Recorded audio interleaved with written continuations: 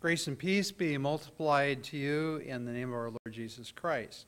Thank you for joining me again today. Uh, may you be blessed in your viewing of this and other videos in this series and in your meditation upon the content.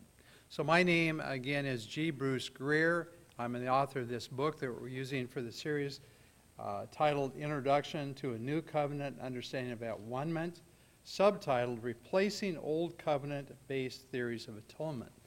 And as I go through this and other videos, I'll be referring to the book and giving you page numbers in the book if you care to follow along in the book.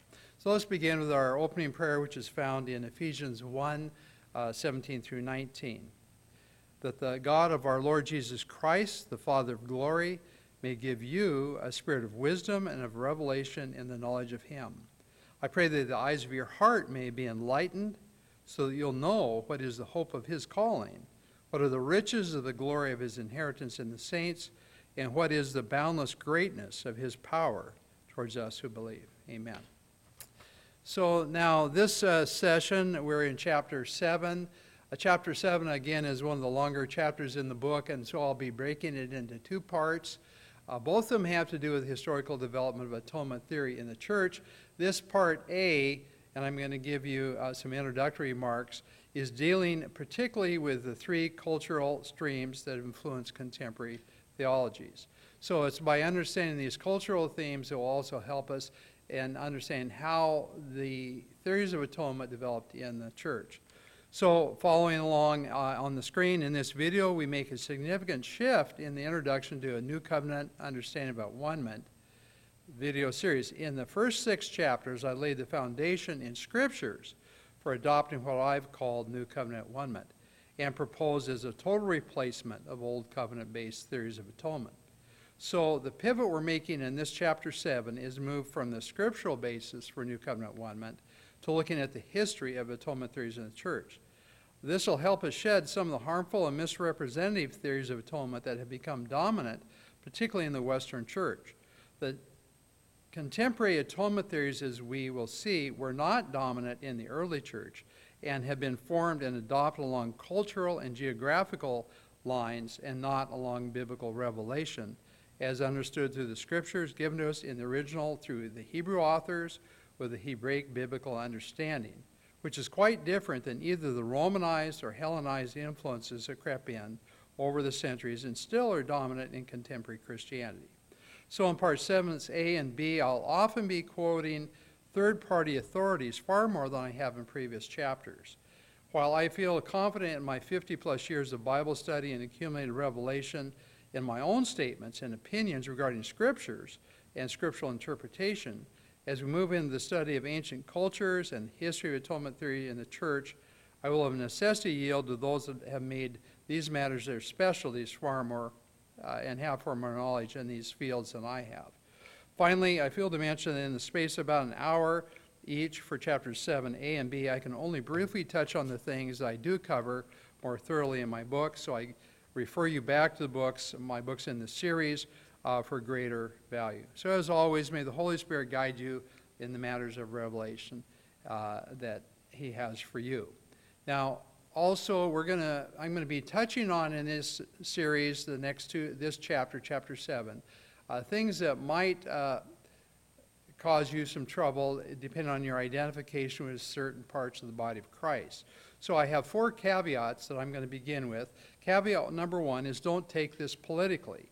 This chapter chapter 7 is not intended to speak for or against conservative or liberal politics Rather, I'm describing theological doctrines and practices identified with portions of the body of Christ as sometimes either being conservative, which you'll see I identify with Roman and Pharisee roots, or liberal that have Greek and Sadducee roots.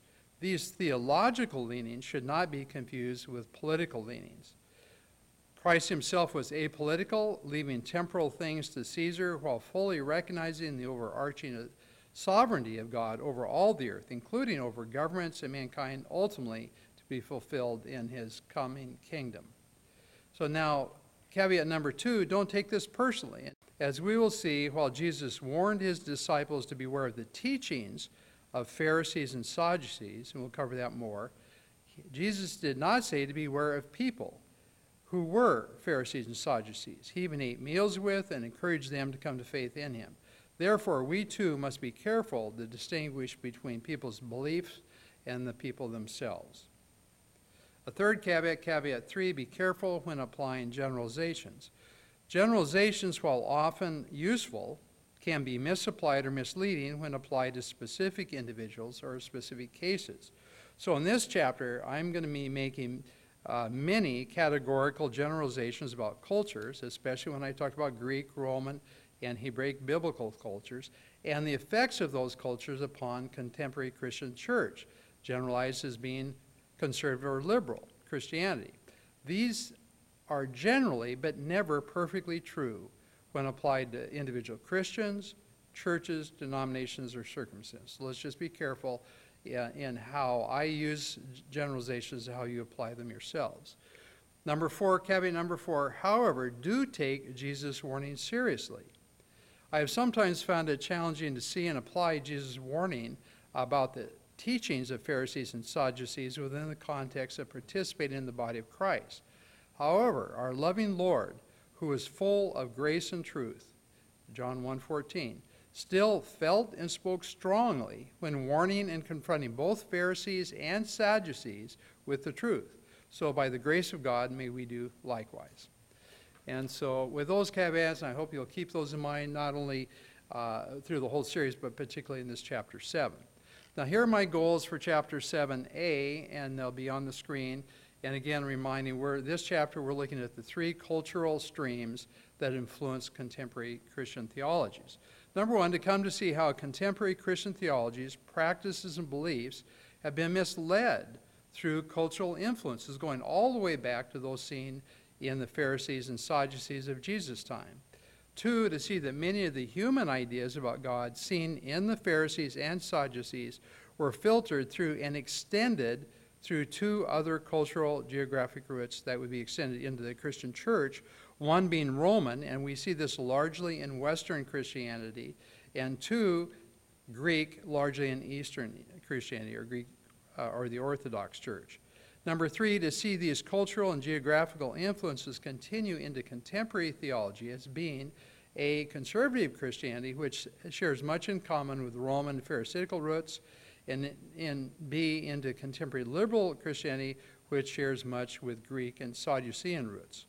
Four, to bring us individually and corporately back to a Hebraic biblical Christianity as best understood and seen in the early Christianity, particularly we'll see in Ephesus, where the Apostle Paul, Priscilla Aquila, Timothy, and Apostle John all lived and taught at various times, largely influenced by the gospel of grace that the Apostle Paul taught.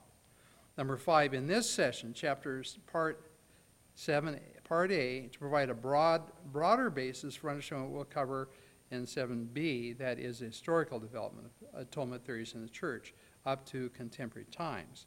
And six, lastly, to open your mind and spirit to receiving new revelation that the Holy Spirit can use to bring us into the full stature of the mature body of Christ that the Father desires for us individually and certainly for all of us corporately. And with the Lord's help, may this be so. So now, as we move into chapter 7, here's an overview of this chapter because we're going to be going into some deeper weeds about these three cultural streams. So, uh, number one, in 7a and b, we'll walk through the historical development in the church, beginning in part A with these three cultural streams that have influenced our theologies. Two, we'll see how these theologies beginning in the early church from a Hebraic biblical diverged into the pre- prevalent contemporary theologies as influenced by Western Roman and Eastern Greek secular cultures. Three, we'll see how contemporary Conservative theology exhibits a mixture of the Roman cultural tendencies, and these continued even after the Reformation in the West. Number four, we'll see how contemporary liberal theology exhibits a mixture of Greek culture and philosophy that is largely continued in Eastern Orthodoxy and is making a resurgence in some, resurgence in some Western theologians. Five, these di- directions divert from the original Hebraic biblical foundations of the earliest church, as we've said, in, as we've seen in the Pauline epistles, the book of Hebrews, and the Johannine gospel and epistles. And six, we'll compare and contrast the ways of thinking that characterize these three cultures. That is, Hebraic biblical, which I identify with authentic Christianity, the Greek culture, which I identified with contemporary liberal Christianity, and C, the Roman culture, which identify with contemporary conservative Christianity. So in the next video, chapter 7, part B, we'll look at historical development of atonement theories. Now that's the history of it. From biblical times to the current era of atonement confusion based on those uh, cultural influences. So eight, in the next vi video also I'll conclude in illustrating how the more comprehensive and biblically correct New Covenant One model overcomes the faults and omissions in the other historical models or theories of atonement based on either Roman or Greek cultures rather than the earliest Hebraic biblical culture.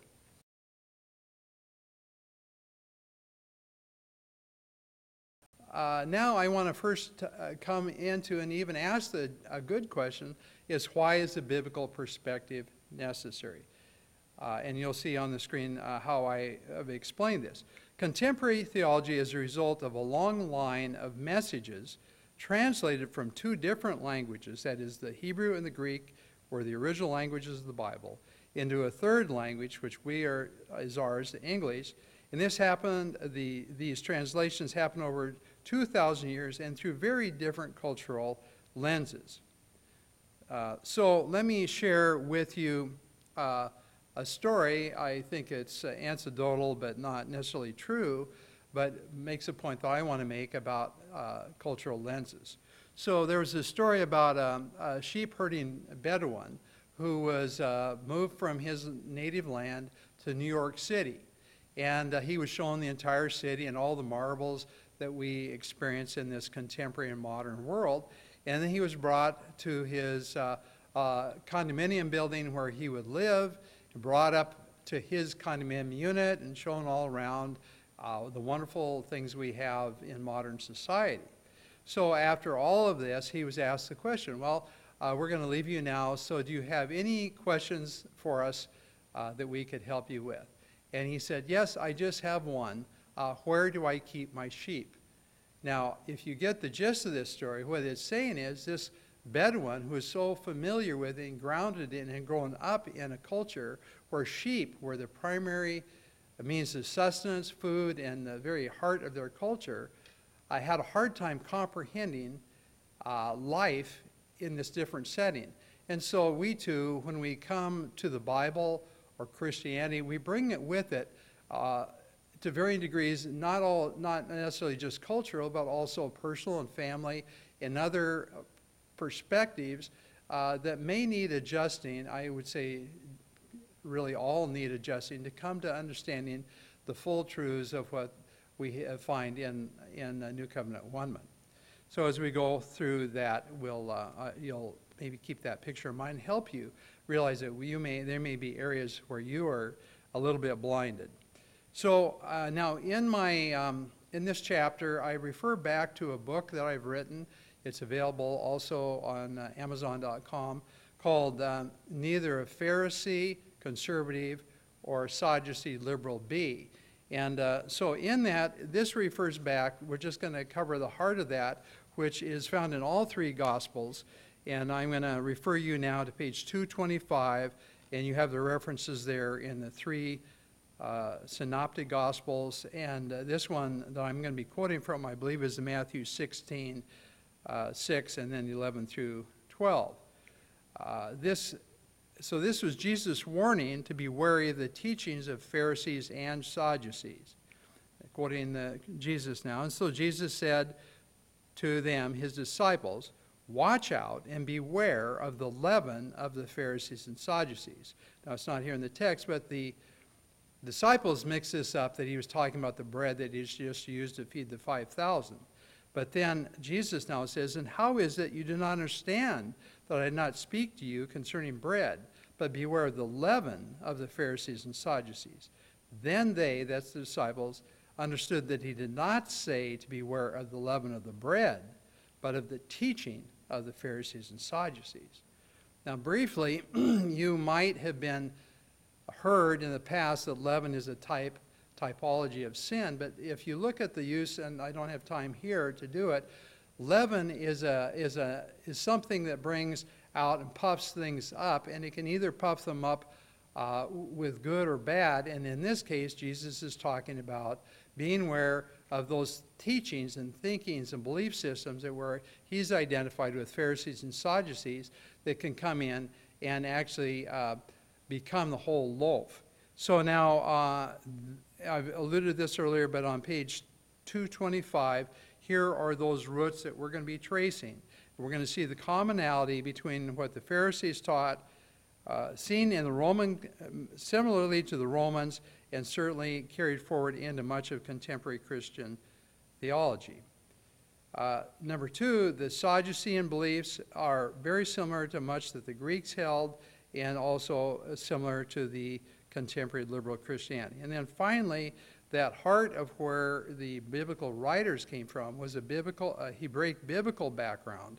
And we see this in all the early apostles uh, in their writings, and in, particularly in the church at Ephesus.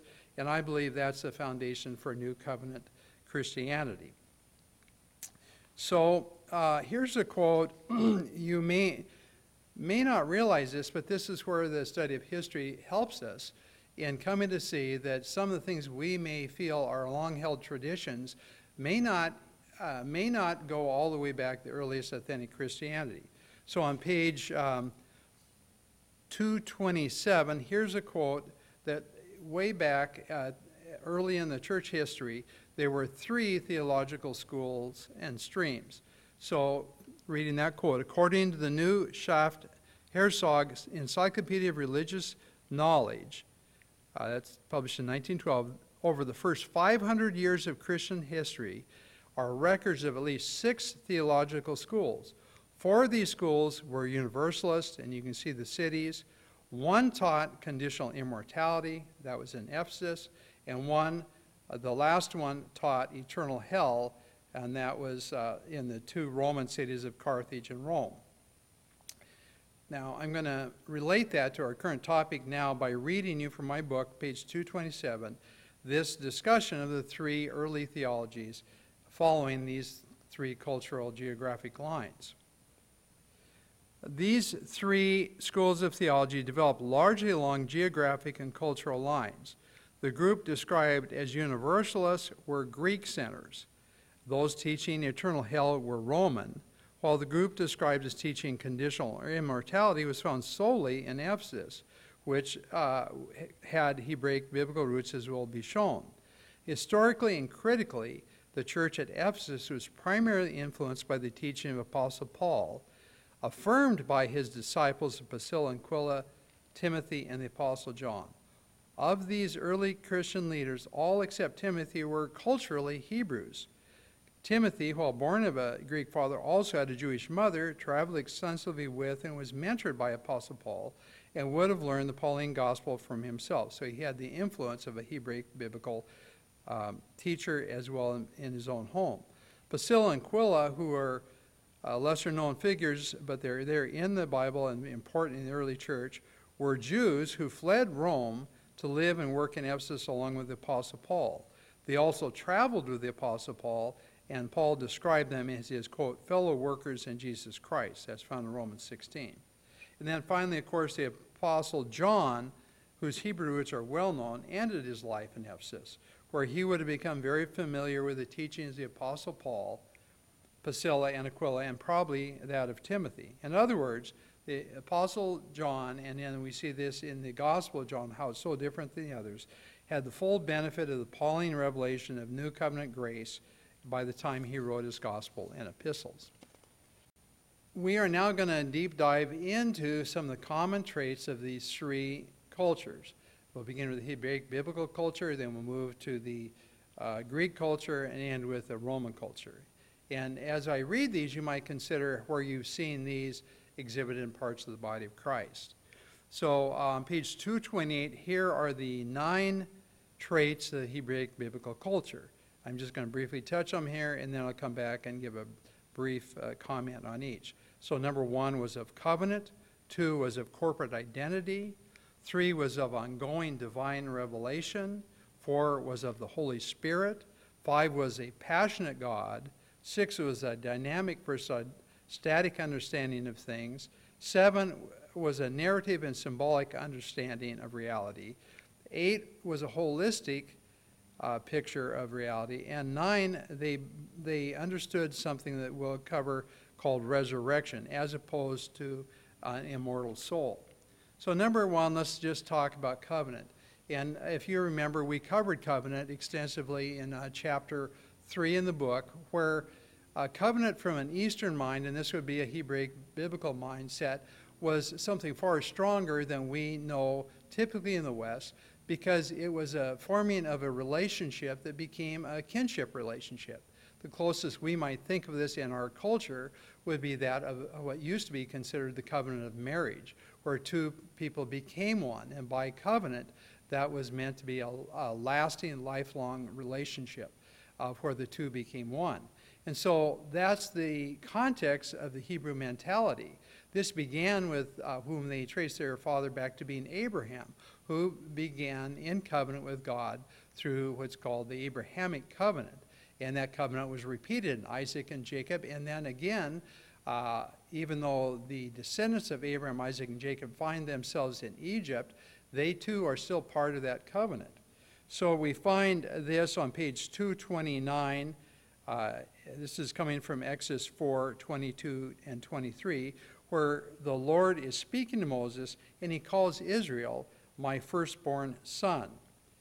And I'm quoting the text now. Then you shall say to Pharaoh, Thus says the Lord, Israel is my son, my firstborn. So I said, You let my son go that he may serve me, but you've refused to let him go. Behold, I will kill your son, your firstborn. So, in this reference here, even back in that early formation of, of the, what will become the nation of Israel, uh, they are spoken to as in a sonship relationship with uh, Yahweh, the God, uh, uh, you know, the God that we know as Father, Son, Holy Spirit. But Yahweh says, "This nation, these people, are my firstborn son." So that's clearly a uh, kinship relationship and a covenantal relationship. He's remembering in this context his people who he made covenant with through Abraham. Number two is a corporate identity, and of course, uh, this is deeply seen in the Jewish culture, which continues today.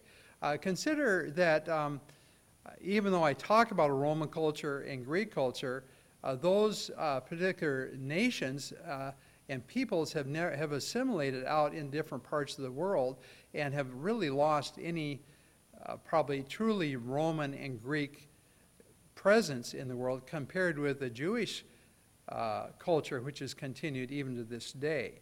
But that is because through, particularly through that uh, wilderness experience and going through that and coming into Canaan, they were always, and through the old covenant law, they were to keep themselves separate and formed a very, uh, very clear corporate identity. Number three was ongoing divine revelation. Now, the reason I say this, this may seem um, secondhand to us as Christians because we assume we read the Bible and we see revelation of God. Uh, we constantly refer to it if we're biblically based Christians. Uh, so the, we don't think too much of it. But how different this was than other cultures uh, at the time that God was leading Israel. So from the very beginning, uh, they knew of a God that spoke to them, not only just to the Jews, but he spoke to Adam from the very beginning, Noah, uh, and so on, and Moses, and then not only to religious figures, he spoke to individual uh, Israelites. He spoke to Mary, and he spoke to, um, uh, you know, all kinds of biblical figures uh, God spoke to. And so they were fully aware and believed in a divine revelation, uh, even a personal divine revelation. Number four, the Holy Spirit. And again, um, how can I emphasize this? But we see, particularly going back to this Old Covenant, Old Testament um, period of Israel going from Egypt through the wilderness and on into the Promised Land, that they were led by the Holy Spirit. The Holy Spirit was God Himself appearing uh, by day in a cloud and by night in a pillar of fire. And then this very presence of God would come down and dwell in their tabernacle and ultimately in the temple. Uh, and they knew that, and there were times when the Holy Spirit would even come upon their prophets, even including King Saul, who was, uh, you know, a type of a fleshly man. So it's part of this Hebraic biblical understanding uh, of the person of the Holy Spirit being actively involved, speaking in and through uh, human beings. Number five, a passionate God. Now, if you uh, read the Bible, you'll see the many, many, so many instances of God expressing His own emotion for His people, His own involvement with His people, and so on. Now, to capture this better, on I'm going to use a quote. It's on page 231 in your book. Here's a quote from Abraham Heschel. He's a Jewish um, rabbi uh, who wrote a book called Pathos and Prophecy in 2008. And here's how he explains Hebraic biblical God as a passionate God quoting uh, Heschel. God, the God of the Hebrew Bible, does not reveal himself to the prophet in abstract absoluteness. Now, we'll see that's more like the Greeks in a minute. But in a specific and genu- uh, unique way, in a personal and intimate revelation to the world. God does not simply command and expect obedience, that would be more Roman. He is also moved and affected by what happens in the world, and he reacts accordingly events and human actions arouse in him joy or sorrow, pleasure or wrath. He is not conceived as judging facts, so to speak, quote, objectively, again, more of a Roman way of seeing things, in detached impassibility. We'll come back to that term. He reacts in an intimate and subjective manner and thus determines the value of events. Quite obviously, a biblical view Man's deeds can move him, that is, can move God, affect him, grieve him, or on the other hand, gladden and please him.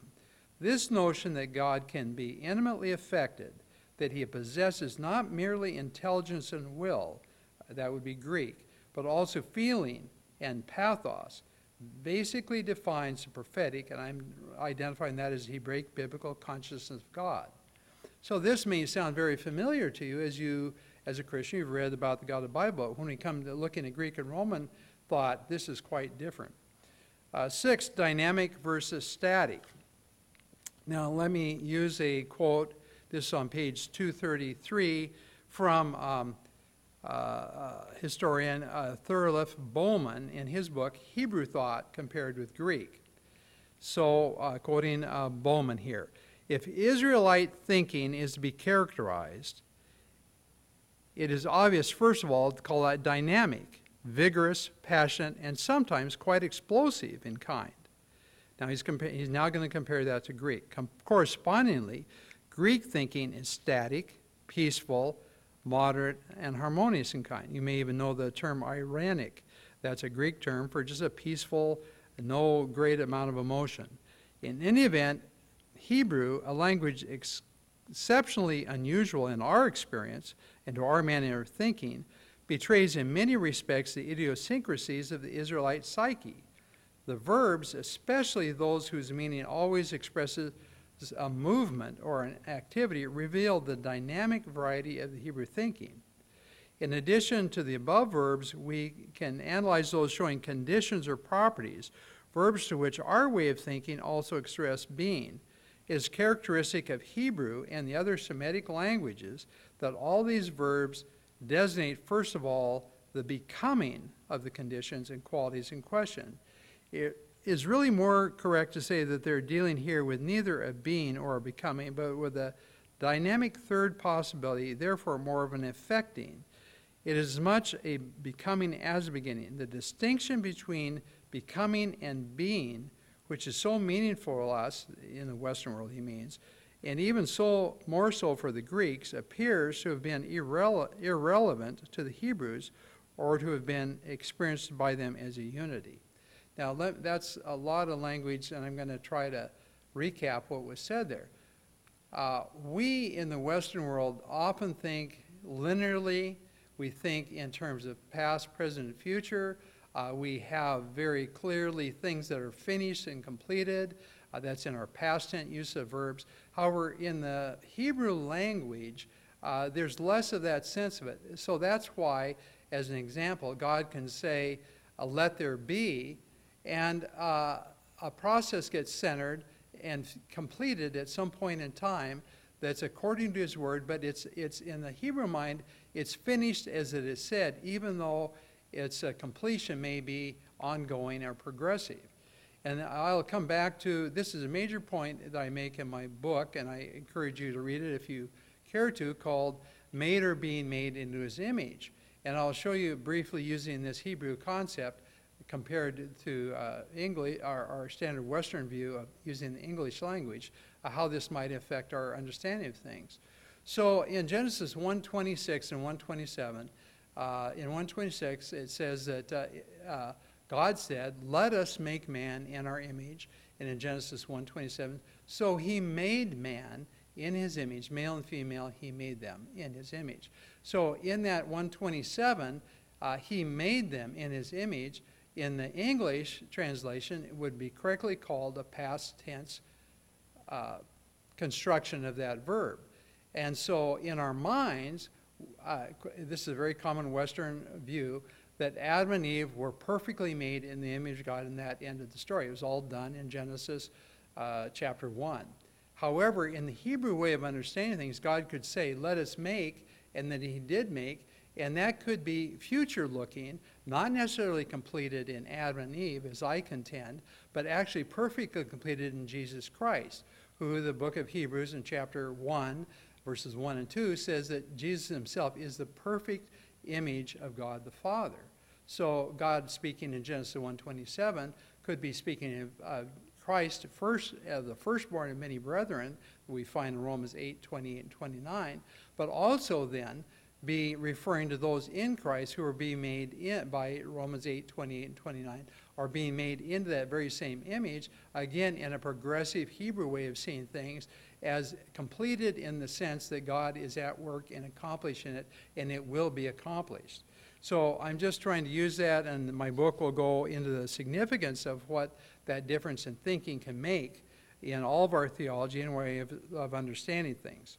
Now, number seven, we're coming back to the seventh uh, aspect of Hebraic biblical culture, and that was a narrative symbolic understanding. And you might see this, might even think about this how is the Bible written? Uh, perhaps as much as two thirds of our Bible is in story form, uh, carrying with it, in many cases, other stories within stories. And think how often Jesus Christ himself, in his earthly ministry, used parables and other stories to try to illustrate truths. And this is a very uh, Hebraic way of doing things. Uh, compared to the Greeks, who were abstract thinkers, uh, God, through the scriptures, brings us always back into story form where we can see things concretely and then go to a deeper meaning that the Holy Spirit can bring out. But uh, the Hebraic were very uh, conscious and we're using narrative. And that's why you might realize that if you read through particularly the uh, book of Acts, you'll see all these Hebraic sermons that are given all begin, uh, most of them begin with a history. They start telling the history of the Israel nation and so on. In fact, Peter at the house of Cornelius uh, goes through this long speech about it, and the Holy Spirit interrupts his speech when he finally gets around saying, and you've been forgiven. And so then the Holy Spirit jumps in uh, and in my way of thinking, probably in a contemporary sense, he says, I'm, you finally got to the point I was reaching. But for a Hebrew, they needed to put everything in context of story and with symbolic meaning behind it. Number eight, holistic. Holistic thinking is, um, unlike we'll see in the Greeks who uh, distinct, made things distinct and separate, for the Hebrew mind, things were more holistic or related to one another. Relationship would be another good way of saying this. So we see in Genesis uh, 1 1, where it says, In the beginning, God created the heavens, plural, and the earth. Uh, heavens, all, to the Hebrew mind, would have included not just the physical sky and the natural universe that we think of as heavens, but also the spiritual realm. So they have already understand that God Himself is God not only of the natural realm but the spiritual realm. Furthermore, we see when we look at, um, I'm going to use the scripture, Paul, in using the same kind of logic, We'll do this. This is 1 Thessalonians 3 23 and 24, uh, where Paul, now talking about the whole man, speaks of three united holistic parts.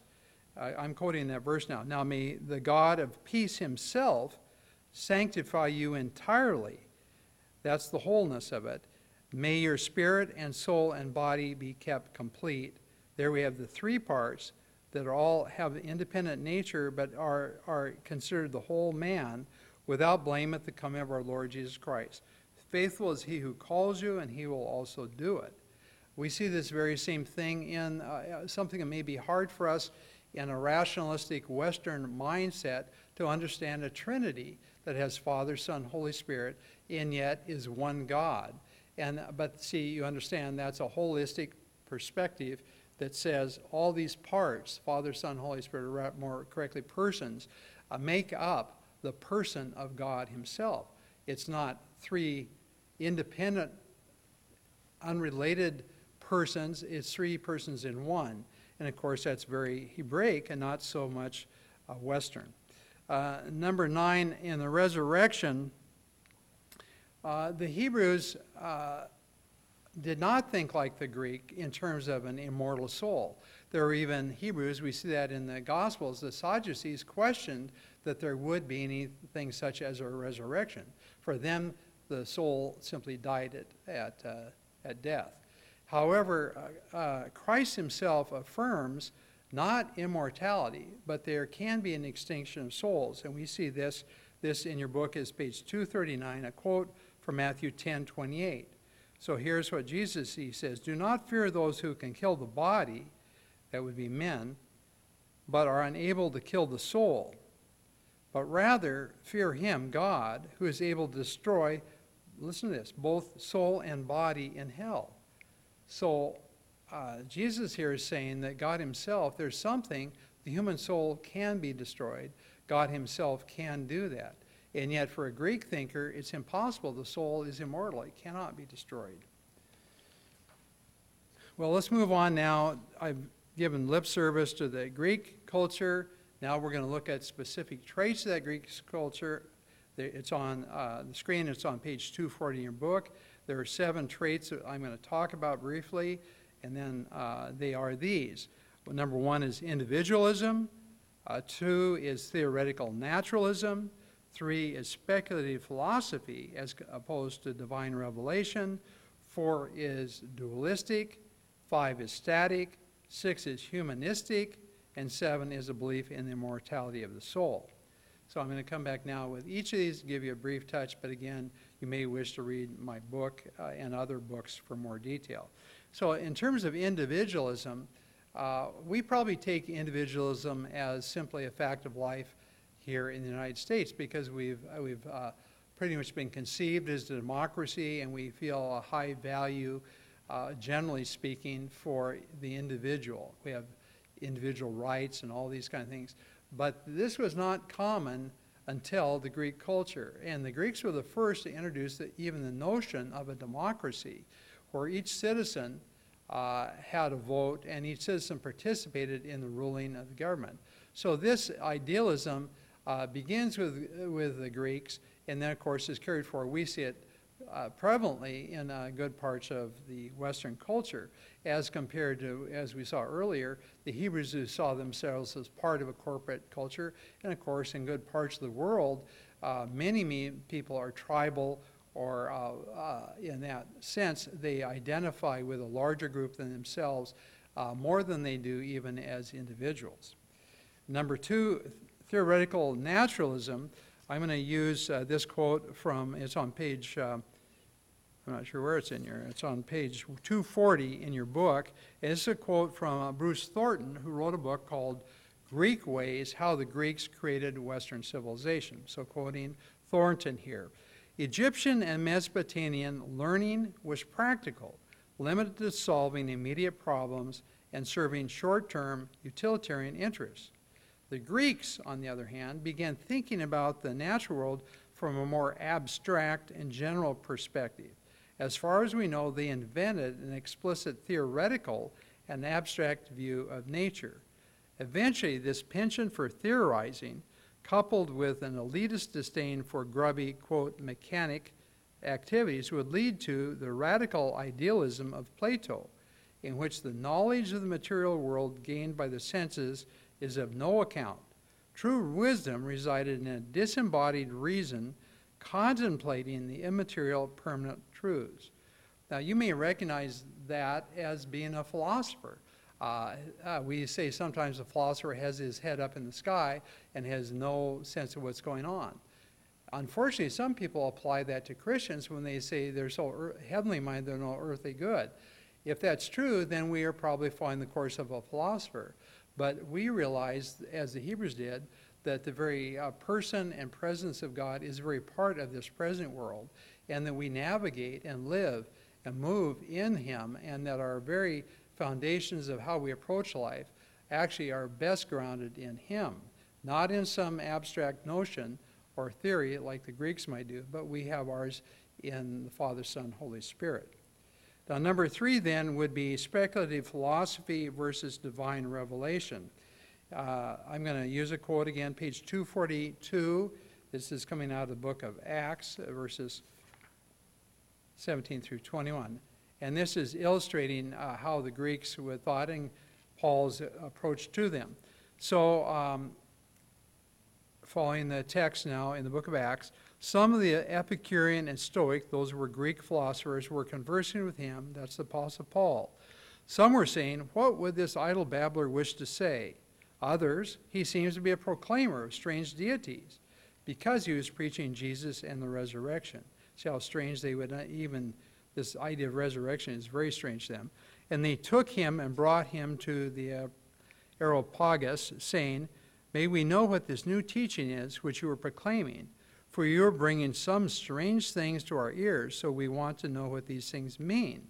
Again, this is an intellectual approach, so we just want to understand what they mean. We don't want to have them affect us. Now, the writer of Acts, Luke says, Now all the Athenians and the strangers visiting there used to spend their time in nothing other than telling or hearing something new.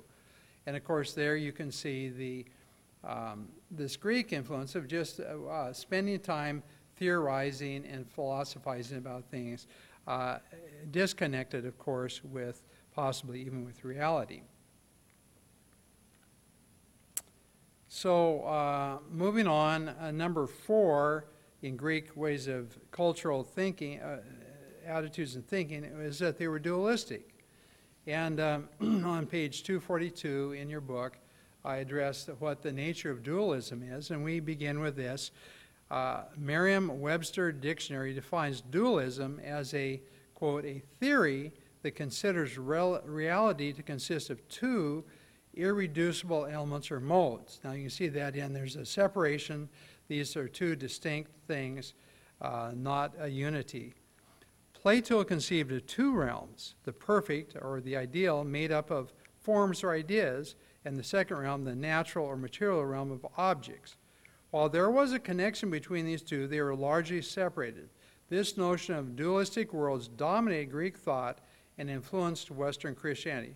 For some contemporary Western Christian, God exists somewhat like Plato's form of God in a separate realm from our own. He's there in heaven, we're here on earth, that we can visit on certain days, maybe Sundays for most, Saturdays for some, and where He may come and go depending on our prayers or religious practices. Okay, so that gives you the sense of this separation rather than the unity, uh, wholeness, and closeness that the Hebrews might have. Now, we also see this carried forward. This is covered on page 243 in a Greek notion, which has actually become part. I, I, found this very notion even in the Westminster Confession, which you might know is one of the doctrinal statements of the Reformed Church, um, a portion of the body of Christ. Uh, so, page 243, we're looking at the Greek, and this is not Hebraic biblical idea of impassibility of God. My source is Wikipedia. So, impassibility describes the theological doctrine that God does not experience pain or pleasure from the actions of another being. Now, how, how, we saw that earlier when we looked at the Hebrew thought of a passionate God, just the opposite of that. Some theological systems portray God as being expressive or and of emotions. Other systems, mainly Christianity, he, uh, writer uh, Wikipedia says, and I would say that's only Western Romanized form of Christianity, Judaism, and Islam portray God as a being that does not experience suffering or any other emotion at all. So in Romanized Western Christianity, while the created human nature of Christ is mutable and passible, the Godhead is not. Again, that's a very, uh, now we understand, of course, uh, Jesus Christ himself as fully God and fully man. And though, so again, that would be more of a Hebrew notion that these two things can be combined. Number five is the static nature of the um, Greek thought. Uh, here, they, they, we've already seen this in Plato, that those things, the forms, ideas, are unchanging. That notion is unchanging in the, in the greater world, the, in his thinking, the supernatural world. Six is a humanistic bent that happens to be part of the um, Greek way of thinking. You can even see it in the nature of their gods, who are all formed after images of human beings. And number seven, rather quickly, is the Greek notion of immortality of the soul. And this is a widespread notion, uh, widely held in the Greek world, and has become, I think, worldwide, has become the common belief. Uh, if that is true, then there's no need for eternal life, because eternal life implies that there's something that lives on forever. And in the Greek mind, that is something that they all shared. Moving on now to the um, traits in the Roman culture, page 245, I give you these five.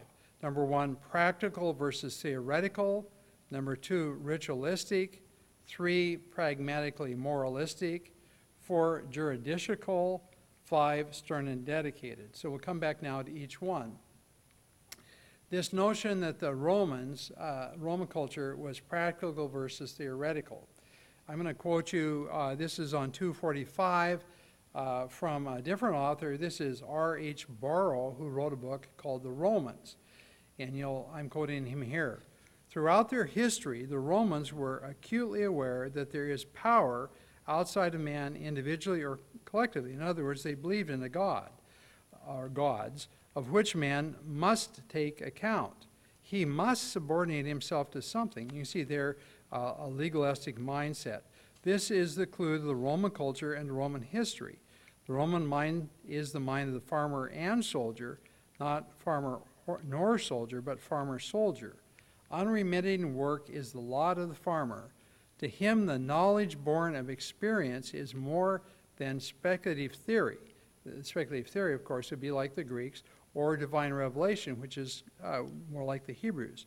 His virtues, the Romans' virtues, are honesty and thrift, forethought and patience, work and endurance and courage, self reliance, simplicity, and humility in the face of what is greater than himself. So as I read this list of characteristics, this would these are actually noble characteristics in my mind, and many, many describe many, many conservative Christians, what they would hold as values. You can see that they're not bad in of themselves, but as far as the Roman is concerned, these are things that we must do, and that as the Roman culture became very part of who they were. Number two, the Romans were also very ritualistic. Again, quoting uh, Barrows, this is on page 246 in your book, uh, quoting Barrow in his book, The Romans. Roman religion was a religion first of the family, then of the extension of the family, the state. The family was consecrated, so therefore was the state. To the primitive Roman, numen, power or will, resided everywhere, or rather it manifested itself by action. All that I can know about it is that it acts, but the manner of acting is undetermined. In other words, it's just important that it acts this way. I don't try to understand why it acts that way. It's enough to know that. So the activity of this power was split into innumerable named powers, energizing the action of the household. With, quote, naming, that is, invocation, went prayers and offerings of food and milk, meal and milk and wine, and on occasion, animal sacrifice. The appropriate words and rites were known to the head of the family, who was the priest. Sound familiar? Words and ritual were passed on from father to son till they were fixed immutably. The formulae of invocation prayer were handed down and elaborated and recorded unchanged by the colleges. In later centuries, this is talking about Roman life, a priest could use a liturgy based in a tongue which he did not understand, and the people who took part in the rites, whose meaning was only dimly apprehended, yet which meant something. And does this uh, sound familiar to you? Uh, we see this practice in some parts of liturgical Christianity, particularly at one time or another in the Roman Catholic Church. I'm not bashing it, but it has these characteristics. There was a time in my lifetime, if you're old enough, you may remember this, when the, when the Catholic liturgy was all given in Latin, a language that nobody understood, and yet that ritualistic act of going through uh, that Latin Mass was very essential to their faith. Anyway, moving on, then, speaking on other t- characteristics of the Roman culture in general, uh, number three was they were pra- pragmatically moralistic. Again, this is uh, quoting Barrow, this is page 247 uh, in your book, the pragmatic moralistic element of Roman culture. Barrow says, a strong morality was supported by this cold and formless, I would call that a re- legalistic religion, and the growth of morality was not hampered by mythology, uh, like for Greeks. Uh, the Romans had no sacred writings beyond the formulae of prayer. There was therefore no myth made morality to be undone.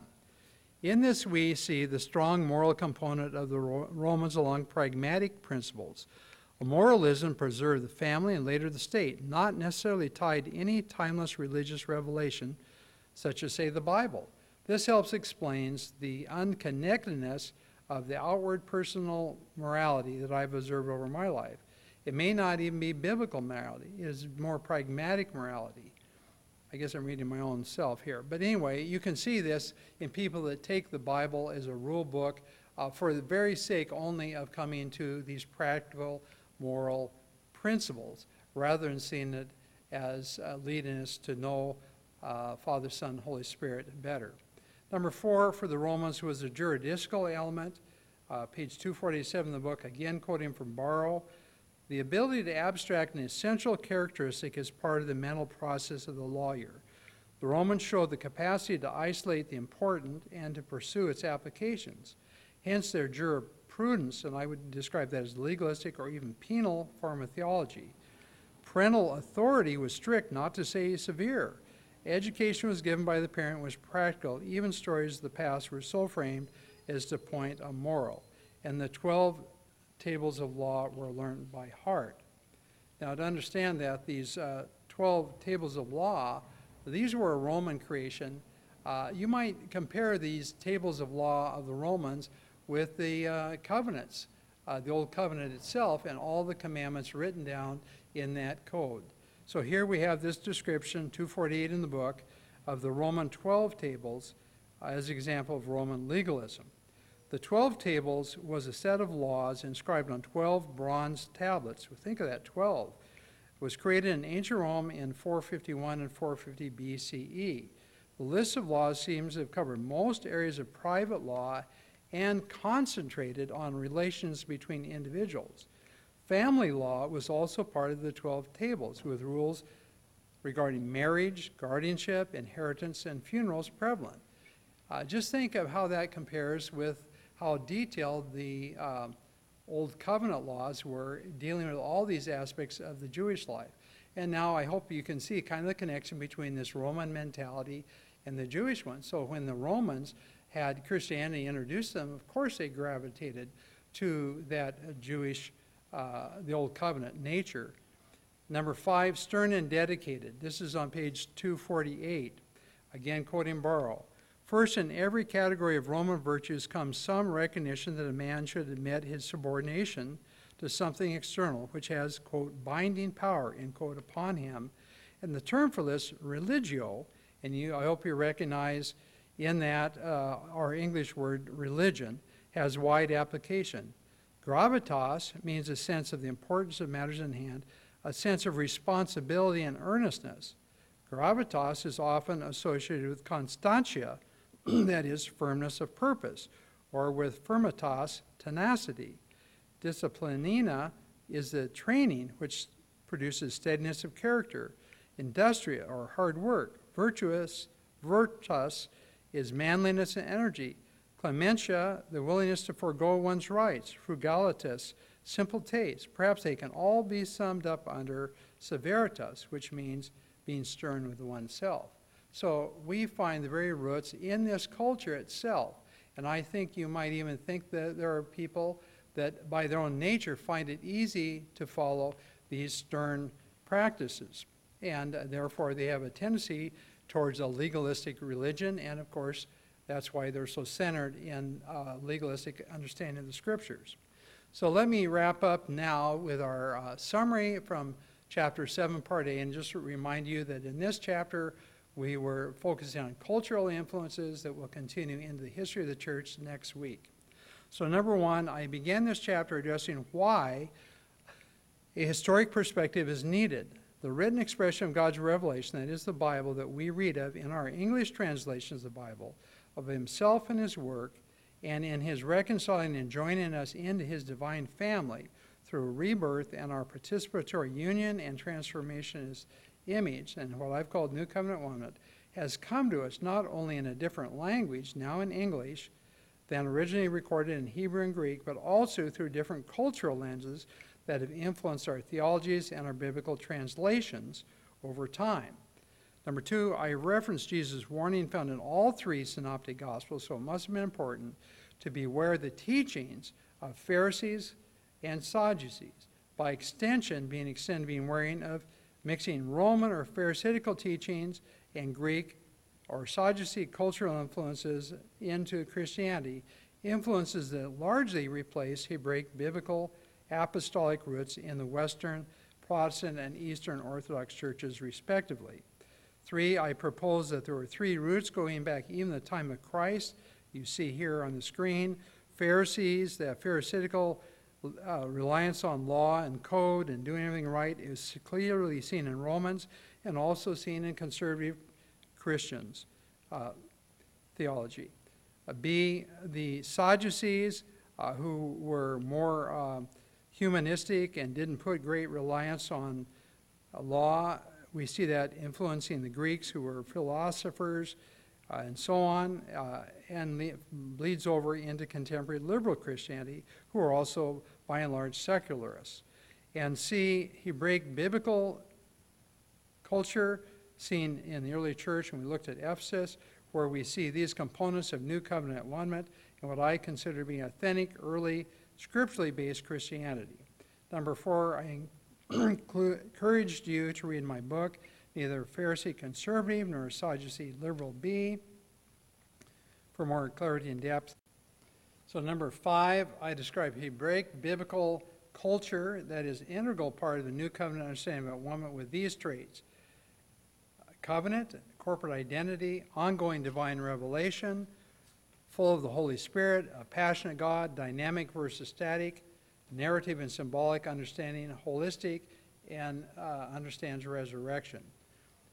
We see these contrasted with what we looked at in terms of the Greek traits, cultural traits, that lead to a liberal and even secularized Christianity that bleeds the spiritual life from the church as being individualism, theoretical naturalism, speculative philosophy versus divine revelation, dualistic, static, humanistic, and affirms the immortality of the soul. Number seven, then we looked at the Roman culture, which had elements that lead to a formal, conservative, even legalistic religion, which is identified with parts of uh, Christianity, and had these traits being practical versus theoretical, ritualistic, pragmatically moralistic, juridical, stern, and dedicated. So I hope in all this you can appreciate that when we look at how we've practiced Christianity in our own personal lives, in the churches we've been identified with, and in the West, uh, we may have been influenced to a greater degree than we understood before by some of these cultural traits, which may not even be scriptural. But even the way we translate our Bibles and the way we understand things are always conditioned somewhat by these cultural tendencies we have. They can be overcome in the Holy Spirit so I'm not suggesting that, that we're stuck, but we need to rely on the Holy Spirit to bring forth uh, meaning to us in our current life and living. So now I'm going to, next week, we'll be continuing on in se- chapter 7, part B, where we'll be actually looking at the history, and this is the historical development of atonement theories in the church. So let's end with this uh, final prayer as I do every week. Uh, Lord, may we see you more clearly, may we love you more dearly. May we follow you more nearly day by day.